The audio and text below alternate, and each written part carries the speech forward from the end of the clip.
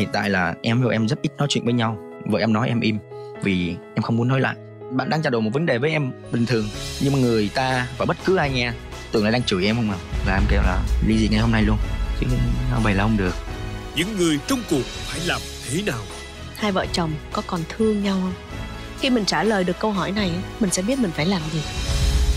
Mảnh ghép hoàn hảo với câu chuyện của cặp đôi vợ chồng Lê Tuấn Anh và MC Ruby Nhi.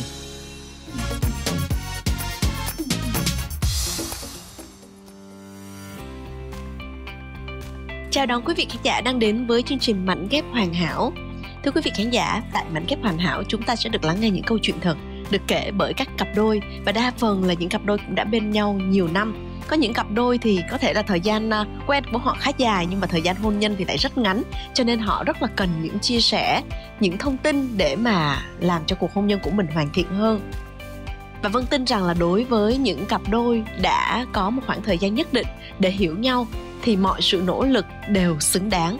Và ngày hôm nay chúng ta cũng sẽ được à, gặp gỡ một cặp đôi như vậy. Trước khi gặp họ hãy cùng chào đón tiến sĩ tâm lý bùi hồng quân.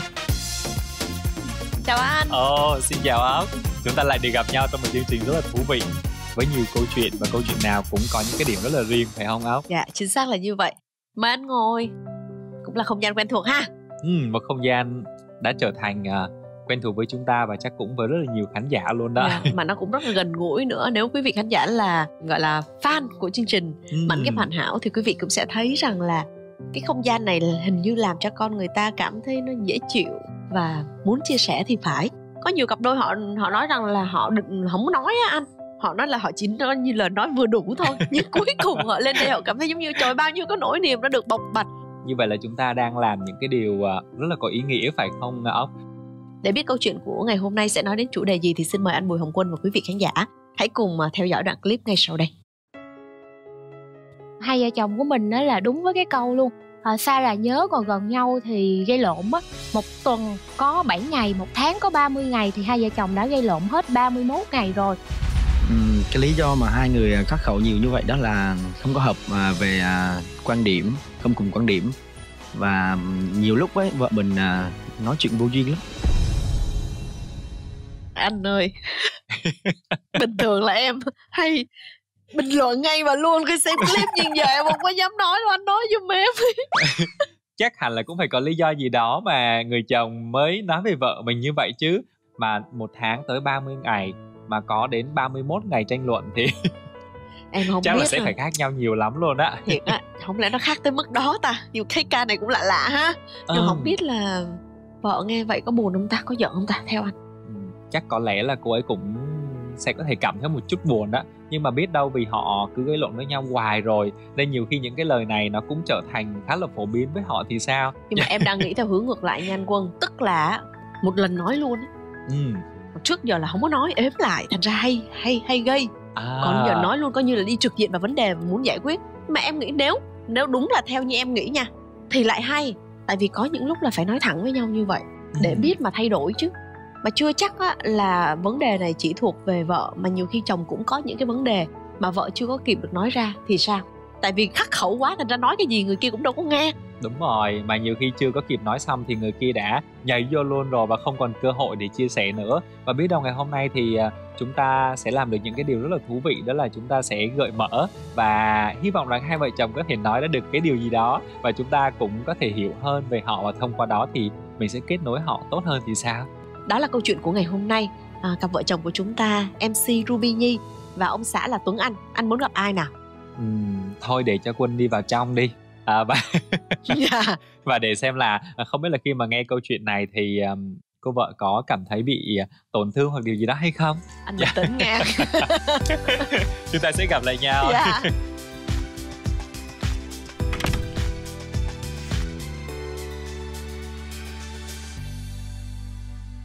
và hãy cùng gặp gỡ vị khách mời của ngày hôm nay, bạn Tuấn Anh. Chào Tuấn Anh. Dạ, chào chị. Mời em. Dạ. Tuấn Anh, ờ, em chia sẻ một chút về công việc hiện tại của mình đi. Dạ, hiện tại thì em đang là một uh, hoạt náo viên bằng tiếng Anh cho các cái tập đoàn. Chị nghĩ dạ. công việc của em rất là hay và có nhiều sự thú vị phải không? Dạ. Em theo đuổi công việc này lâu chưa? dạ chính xác ra em theo đuổi nó được 5 năm nhưng mà để em làm được nó là được 3 năm thôi hai năm để em làm quen với nó thực sự là công việc làm mc rất là khó đó mọi người chỉ ai làm công việc này rồi mới hiểu nếu mà chúng ta có cái gì đó không vui ở ngoài thể chất tâm lý chúng ta không tốt khó để mà chúng ta làm mọi thứ trên sân khấu hay là đáp ứng đúng yêu cầu của khách hàng một cách thật là trọn vẹn. Rồi bây giờ quay trở về với chuyện gia đình mình ha. Các em có con rồi đúng không? Dạ có một bé 11 tháng rồi. À chắc cả ba cả mẹ cùng đồng lòng trong việc chăm sóc bé vào thời điểm này vì bé còn nhỏ mà phải không nè? Dạ đúng rồi. Cũng không đồng lòng lắm chị. Có nhiều vấn đề là mâu thuẫn giữa hai vợ chồng và cả ông bà nữa. Cho hai vợ chồng đồng ở lắm. không đồng lòng lắm. Ở chị rất chia sẻ hai vợ chồng ở chung hay ở riêng? Dạ hiện tại đang ở chung với lại ba mẹ vợ luôn. Ừ.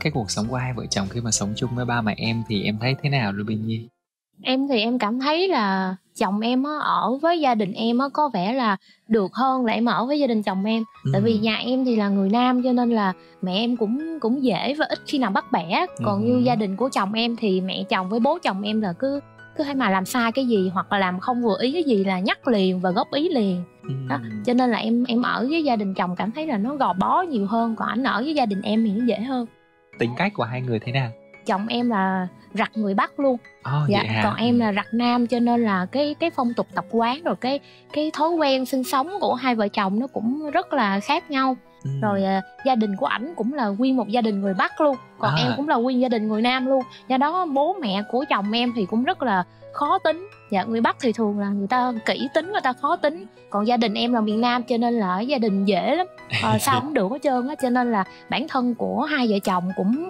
hơi khó hòa hợp với gia đình nữa uhm. dạ. em thấy cái vấn đề khắc khẩu của hai vợ chồng mình đó là nó đến từ cái điều gì là lớn nhất đến là từ không cùng quan điểm và hai cái cách nói chuyện của hai người đều khác nhau hoàn toàn. Đó là điều lớn nhất chứ em thấy điều này từ sớm không? Ừ, rất sớm. Và tụi em đã có rất nhiều lần gãy gánh vì cái chuyện này. Nhưng mà cuối cùng đó đã tới bây giờ thì em nghĩ là một cái gì đó tạo hóa đã sắp xếp rồi. Và đứa con là là cái sợi dây lớn nhất để kéo tụi em lại. Uhm, chứ cái chuyện đó nó lớn lắm chứ cái chuyện mà hai người khắc khẩu lớn lắm luôn á. Và em em vẫn chưa bao giờ tin vào tương lai là tụi em sẽ ở với nhau được vì cái chuyện này. Uhm, đến bây giờ vẫn vậy. Chị hiểu. Cái đó là điều mà không phải là em bi quan nhưng mà cả trăm năm mà chị không phải là một hai năm. Ở đây một hai tháng đã muốn chết rồi chứ đừng nói là cả trăm năm. Uhm, thì em chưa bao giờ em nghĩ cái cách nào đó có thể giải quyết được cái vấn đề này bởi vì em với vợ em đã nói chuyện với nhau nhiều rồi. Hai người cũng đã um, trao đổi với nhau thẳng thắn vô cùng nhưng uh, tới bây giờ vẫn chưa có kết quả. Thì hiện tại là em với vợ em rất ít nói chuyện với nhau. Thậm chí rằng vợ em nói em im vì em không muốn nói lại. Nó đến mức này rồi. Nó dạ yeah, đến mức này nó có làm cho em cảm thấy buồn không? Ừ, buồn chứ chị. Thực ra thì em không có chia sẻ đó rồi. Uhm, nó làm cho em uh, sống nội tâm hơn này. Nó có ảnh hưởng tới công việc của em tâm lý của em có một thứ duy nhất ảnh hưởng tới công việc em đó là con em thôi ví dụ con em ốm hay gì đó là hoặc là mẹ em thì uh, sẽ ảnh hưởng tới chất lượng uh, show của em. Thực ra một có một lần à, bị bị bị bị chỉ trích trong show luôn bởi vì em phải nhấc điện thoại lên em giải quyết chuyện gia đình. Nhưng mà vợ em cũng làm công việc này vợ phải hiểu rằng cái sự tập trung trong công việc yeah, nó dạ, như thế nào chứ? nó có liên quan tới bà nội nữa là mẹ em đó. À, nhà em với nhi rất căng rất rất căng không phải là căng bình thường do mẹ em quá khó ừ, hay là do hai nhi, luôn. nhi chưa hiểu mẹ? Do hai bên luôn. Mẹ em quá khó luôn. Và nhi à, quá dở. Nhiều khi ờ, mình đâu có mưu cầu một cái điều gì đó lớn lao đâu. Chỉ cần vợ chồng thương nhau một chút hiểu nhau một chút và biết công việc của người kia hôm nay cần phải làm cái gì. Mình có cả cái sự tôn trọng đó nữa thì chỉ cần như vậy thôi là mỗi ngày trôi qua nó đã bình yên rồi. Dạ. Em nghĩ rằng là có những lúc em cũng chưa thật sự hiểu vợ mình và chưa uhm... lắng nghe vợ mình đâu. Em có nghĩ là cũng do có mình chị, không? có chị. Cái này thêm nữa gọi nó là không cùng quan điểm sống thôi chị. Dạ. Thực ra quan điểm sống nó liên quan đến nhiều vấn đề khác. Dạ. Nó liên quan đến rất nhiều yếu tố đó yếu tố gia đình yếu tố môi trường giáo dục yếu tố con người. Và ừ. từ cái quan điểm sống khác nhau nó sẽ dẫn đến ứng xử khác nhau lời nói khác nhau hành động khác nhau. Tư duy chắc chắn là phải khác. Đúng rồi. À, nhi được à, được giáo dục trong một gia đình à, rất là sung sướng và từ nhỏ đến lớn không phải làm gì cả. À, còn em nó khác. Em gia đình em à, bình thường à, nông thôn thôi rồi đi làm. Em cái gì cũng biết làm hết em là con trai nhưng mà em làm cái gì cũng được. Ngược lại nhi không biết làm cái gì. Chỉ biết đi ra ngoài làm mc rồi đi nói chuyện thôi. Còn những việc khác? Nấu ăn không biết nấu chăm sóc con kém. Ờ, nhưng mà em có thể nói và hướng dẫn cho nhi mà. Có có chứ chị có chứ. Mẹ em có hướng dẫn rồi em có nói chứ nhưng mà nhi chưa muốn học hoặc là không muốn học về điều chưa đó. thử chưa cố gắng. Yeah. đúng rồi. Tính cách của chồng em là người như thế nào? Chồng em thì ở ảnh đi dẫn bình thường ở ngoài á. Cho nên ảnh rất là open ảnh rất là cởi mở. Còn ở ngoài thì ảnh hơi khó tính hơi cũng bắt bẻ em. Ví dụ như thế nào là Ruby Nhi? Ví cho anh một vài ví dụ coi. Ừm, chồng em thì ờ, thích một cái người phụ nữ cái mẫu theo kiểu là ờ, công dung ngôn hạnh á anh quân dạ Ừ, truyền thống người phụ nữ của gia đình dạ thích ừ. vợ là phải biết nấu ăn nấu uống cho gia đình Ừ. nhưng mà riêng bản thân em thì em học thì cũng được đi nhưng mà làm như em hơi cá biệt xíu anh em em em không có thích cái cái nhiều lắm cái công việc bếp núc mỗi lần Ừ. em em vô bếp núc em thấy nóng nực mà bức rứt khó chịu lắm Ừ. em lại thích đi ra ngoài ờ, kiếm tiền hơn là ở nhà nội trợ bếp núc tại vì ờ, em cũng quen là từ nhỏ tới lớn anh quân là ba em thì đi làm Ừ. còn mẹ là mẹ chỉ ở nhà nội trợ chứ không đi làm Ừ. do đó là mẹ làm hết rồi Ừ. mình chỉ đi học rồi về ăn uống rồi lại đi học tiếp tục rồi lớn lên thì đi làm thôi Ừ. rồi có bắt bẻ em cái gì khác nữa không dạ nhiều lắm ảnh ờ, hay bắt bẻ trong cái cách lời ăn tiếng nói Ừ. hoặc là vợ chồng em hay khắc khẩu những cái mà tại vì ờ, ờ, những cái mà ảnh ờ, góp ý hoặc là ảnh bắt bẻ em á thì em có những cái mà em cảm thấy khó chịu. Ừ. hoặc là chồng em gọi là la em chẳng hạn đi thì đối với ảnh thì ảnh nói là ở miền bắc á, người ta la nhau như vậy là rất là bình thường.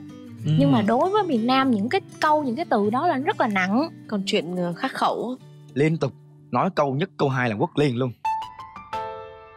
Ví dụ ví dụ đi ví dụ đi nếu đón gặp gặp nhau thì thường sau cả một ngày làm việc về rồi đó thì gặp nhau sẽ nói gì thực ra thì ví dụ cộng cái tông giọng của bà với cái ngôn từ của bà nó sẽ ra còn tông giọng của em em không có ví dụ được bởi vì em rất là dễ thương à, em không em không có nói kiểu đó được Ừm, cái kiểu như giọng đùa nhưng mà tưởng có duyên nhưng tưởng là không vô duyên á À, hồi nãy cái phần mở đầu á thì à, Tuấn Anh nói một câu mà làm cho anh bạn cảm thấy cũng không biết là nó có rất là nhiều cảm xúc khi mà hồi nãy Ruby Nhi có nghe rồi đúng không? Dạ. Ừm, em cảm thấy thế nào khi mà chồng em nói vậy? Cái lần đầu tiên mà chồng em nói ê bà vô duyên quá hoặc là này À. nọ thì mình tổn thương lắm. Mà giống như anh với chị Vân no chị ốc nói riết rồi cái mình bị ờ, đứt cái sợi dây ờ, mặc cảm với cái từ vô duyên luôn chẳng hạn vậy. À. rồi sau này ví dụ như ổng kiếm một cái từ khác ổng chửi mình nữa thì ổng chửi lần đầu thì mình sẽ cảm thấy mặc cảm cái bắt đầu ổng chửi lần thứ n rồi thì mình lại đứt sợi dây mặc cảm với cái từ đó. Nhưng mà hai vợ chồng có trao đổi với nhau thường xuyên không về cái quan điểm về cái suy nghĩ của mỗi người về cái sự khác biệt về văn hóa nói câu ra là gây lộn mà anh mà ví dụ như xa nhau ổng đi làm rồi hoặc là em đi làm rồi á thì nhắn tin cho nhau thì nhiều khi nhắn nó rất là ôn hòa thậm chí tình cảm lắm mà hãy cứ hãy mà hai vợ chồng đụng mặt nhau là câu một câu hai là gây lộn nhưng có một cái lần nào mà nó mâu thuẫn khá là đỉnh điểm không từ lúc mà kết hôn đến giờ có một cái lần nào mà em nghĩ là nó khá là căng với hai vợ chồng không? em nghĩ đỉnh điểm á thì một tháng tầm sẽ có từ 2 tới 3 lần hai vợ Ừ. chồng gây lộn tới đỉnh điểm Ừ. thì ảnh lớn mà như nít lắm. Cứ mà gây lộn tới đỉnh điểm là một là ảnh gọi điện thoại về ảnh mét ờ, ờ, mẹ ảnh. À. hai là ảnh sẽ nói với mẹ em là thôi con chịu hết nổi rồi con phải ly dị thôi. Nhưng mà chính ảnh là người khơi màu chính ảnh là người muốn nói cái từ đó ly dị. Ừ, nhưng ừ. mà tới chừng giống như lúc đó ảnh nóng anh. Xong rồi cái tới chiều cái về cái mẹ em hoặc là mẹ ảnh hỏi là sao rồi cái anh nói hết rồi không có gì má rồi vậy thôi bạn ấy nhiều khi bạn nói rất là thẳng. Có nghĩa là bạn bạn đang trao đổi một vấn đề với em bình thường nhưng mà người ta và bất cứ ai nghe tưởng là đang chửi em không à. Và hôm đó em có và hôm đó có xảy ra luôn là em kêu là ly dị ngay hôm nay luôn.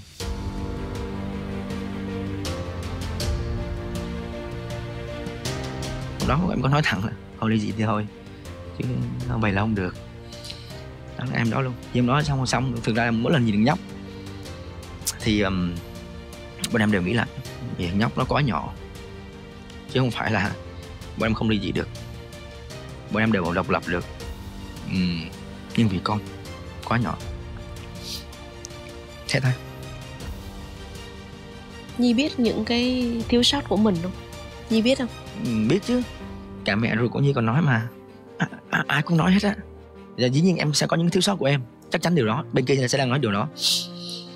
Um, em có phải là người chịu thích nghi và chịu thay đổi chịu cố gắng? Dĩ nhiên chị. Chắc chắn luôn. Em tự nhận thấy mình có điều đó. Chắc chắn điều đó. Nhưng em thấy vợ mình có điều đó. No. không có điểm nào. Không có điểm nào cả. Ví dụ trước giờ em nằm nóng lạnh đều được nhưng mà Di nằm nóng không chịu nổi không chịu nổi. Ví dụ về nhà không có máy lạnh cầm lên liền và nói lớn tiếng lên liền. Nhà ông có máy lạnh không về nhà ông đó là một cái chỉ là một cái nhiệt độ thôi không thích nghi được thì làm sao mà thích nghi được cái áp lực cuộc sống. Rồi uh, đồ ăn là phải ăn đúng mã nấu. Mẹ em nấu chê ngay và có một lần chê thẳng mặt mẹ em và mâu thuẫn lớn xảy ra trong cái mâm tiệc đó luôn. Rất lớn. Thật ra nếu như chị nghe theo em nói như vậy thôi thì chị cũng không chấp nhận. Đó là không chấp nhận. Nhưng mà nếu như bây giờ ngay lập tức vân kết luận rằng ruby nhi là một người vợ như vậy thì vân sẽ không có đúng với vai trò của mình tại vì do chị chưa có Đúng được rồi. nghe nhi giải bày chị xin phép em cho chị được mời ok nhi ra đây nhé Dạ. à anh quân ơi anh giúp em mời ruby nhi ra đây nha Rồi, sẵn sàng. Xin mời Ruby Nhi. Chúng ta sẽ ra trò chuyện cùng với nhau. chào em dạ chào chị thì nãy giờ chị nghĩ rằng là những cái không phải bức xúc nữa mà nó gần như là những uất ức luôn đấy của ờ, Tuấn Anh nó đã bị chất chứa từ quá lâu rồi rất rất là lâu. Trong những cái điều Tuấn Anh nói thì em nghĩ có bao nhiêu phần đúng cho hai vợ chồng và cho cả em? Chồng em á nói thì không có sai nhưng mà có những cái là hai vợ chồng cũng ờ, ờ, không có hòa hợp với nhau cho nên là nhiều khi nói ra cái cũng không có hiểu nhau. Có Ruby Nhi đây nè, Tuấn Anh thì nói lại coi cái điều mà ờ, bản thân em cảm thấy rằng là giống như hồi nãy chị ốc có nói đó là nó không phải là khó chịu mà nó là uất ức luôn á.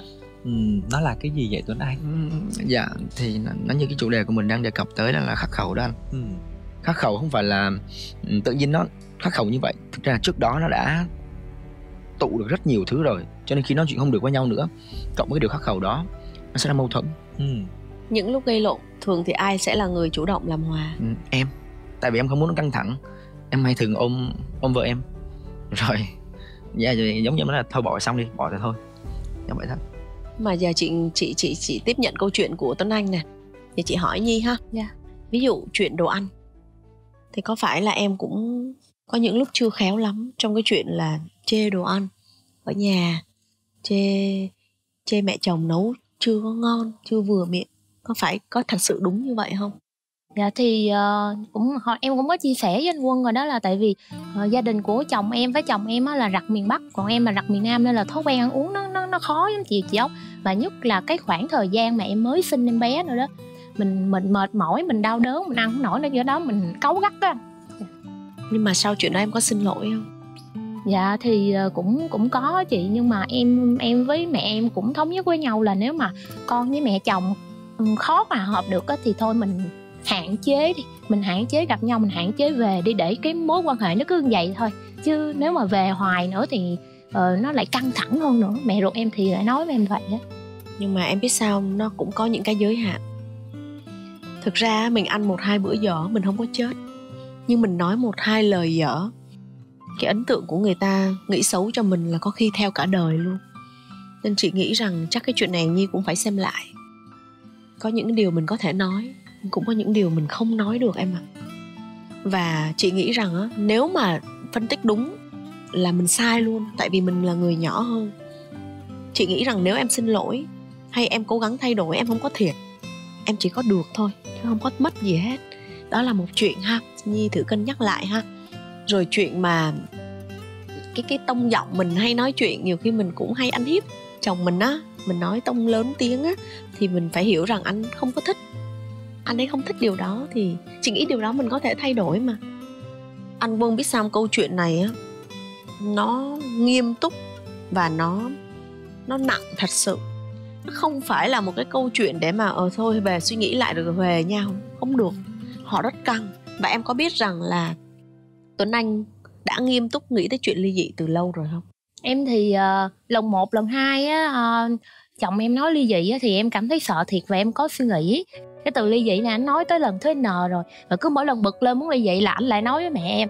Xong rồi cái chiều về mẹ em hỏi sao ly dị sao? Cái ảnh lại nói là thôi không có gì hết má ơi tụi con hòa rồi.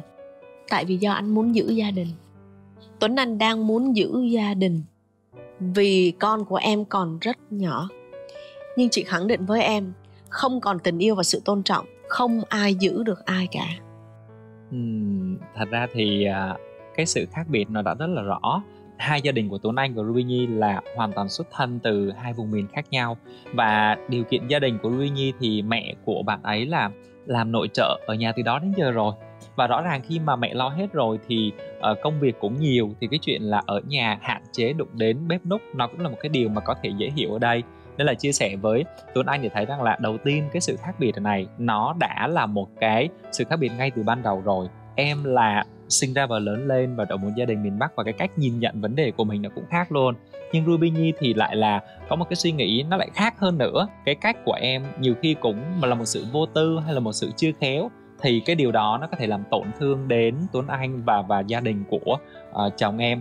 Cả hai đều phải cần thay đổi nhưng mà rõ ràng có những cái cách. Ví dụ như là khi mà hồi nãy Ruby chia sẻ thì ở uh, bây giờ là đang hai vợ chồng đang ở nhà của Ruby Nhi nhưng mà có một điều uh, bản thân anh cũng rất là thắc mắc với với lại Tuấn Anh là yeah. Dạ. ví dụ khi có một mâu thuẫn nào đó có một cái điều gì đó giữa hai vợ chồng xảy ra đó yeah. Dạ. thì Tuấn Anh lại chọn giải pháp là mình lại gọi điện về cho mẹ của mình hoặc là mình lại nói chuyện với lại mẹ của Ruby Nhi mà trong khi hai vợ chồng lúc đó không có thể giải quyết được yeah. Dạ. hay tại sao lại chọn cái giải pháp là mình lại đi nói với mẹ như vậy yeah. không nói chuyện được ấy bất lực nói chuyện rồi nói ừ. chuyện không có giải quyết được gì nữa rồi ừ. yeah. là mình à, mỗi lần cãi nhau lại em không nói lại yeah. để bà nói yeah. Ừ. tại vì rõ ràng chúng ta đến đây không phải để chỉ ra em sai cái gì vợ em sai cái gì yeah. mà đến đây để chúng ta có thể là chia sẻ và lắng nghe nhau nhiều hơn và có một điều này thì bản thân anh rất đồng cảm với tuấn anh đó là thật sự khi mà giữa con dâu á với mẹ chồng có một chuyện gì đó xảy ra thì cái người họ đau nhất đó là người con trai là người chồng một bên là mẹ còn một bên là vợ và cái điều này làm cho người đàn ông cực kỳ khó xử. Vậy em có sẵn sàng vì chồng của mình để mình tiết chế là một chút và làm cho mối quan hệ giữa con dâu với mẹ chồng có thể không được thật sự là tròn trịa nhưng mà nó thuận hơn được không? Và như vậy là em đã vì chồng em rồi. Còn tuấn anh rõ ràng rằng là có những cái lời nói mình nghĩ rằng là nó ở cái lúc mà mình không kiểm soát được cảm xúc. Nhưng em cũng có biết rằng với vợ hoặc là với gia đình vợ thì cái từ đó nó cũng là một cái điều tổn thương kinh khủng khiếp không? Và mình đã sẵn sàng điều chỉnh hay chưa? Dạ yeah, okay. giờ chị hỏi câu này nữa thôi rồi chúng ta sẽ kết thúc. Hai vợ chồng có còn thương nhau không? Còn yêu nhau không? Tuấn anh em còn thương còn yêu yêu không vợ còn gì yêu là không còn. Thương có. Em còn cần không? Cứ thật thà với chính mình đi em. Khi mình trả lời được câu hỏi này mình sẽ biết mình phải làm gì em có thể suy nghĩ về điều đó. Dạ, trong dạ, lúc dạ. đó nhi chị thấy em có vẻ rất bình thản nãy giờ. Chị biết em có những cơn bão lòng của em. Nhưng có thể bình thường em tuôn ra còn ở đây thì em sẽ không không sẵn sàng để nói không sao. Chị tôn trọng điều đó. Chị chỉ cần em biết chính xác là em biết em có còn yêu chồng mình không? Em còn thương tuấn anh không? Em đối với chồng em thì lúc này em cũng thương yêu ảnh hết á. Chứ nếu không là chắc là hai vợ chồng cũng đứt lâu rồi vậy em có còn cần cuộc hôn nhân này không? Em nghĩ là tới thời điểm này hiện tại thì em vẫn còn cần. Câu trả lời của nhi thì chúng ta đã biết rồi. Giờ là tuấn anh. Vậy em có cần cần vợ mình không